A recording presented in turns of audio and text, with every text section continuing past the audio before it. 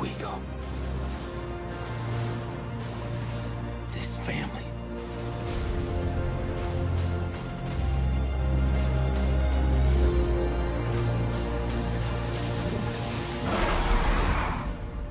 Is our fortress.